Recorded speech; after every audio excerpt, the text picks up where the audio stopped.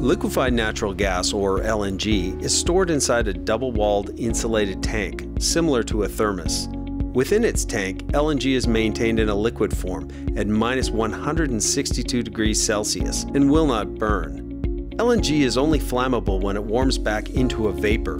As vapor mixes with air, it becomes too diluted to burn. If ignited, the vapor burns with a lazy flame, more like a candle than a blaze.